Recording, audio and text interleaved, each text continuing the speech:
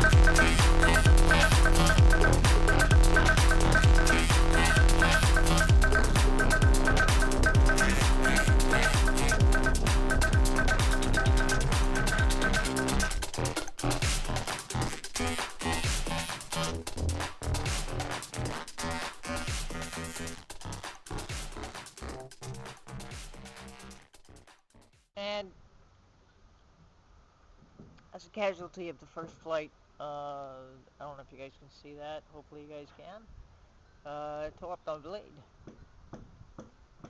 And the top. All the rest of the blades look pretty well good. Um, little scuffed on here. Uh, sorry, on here.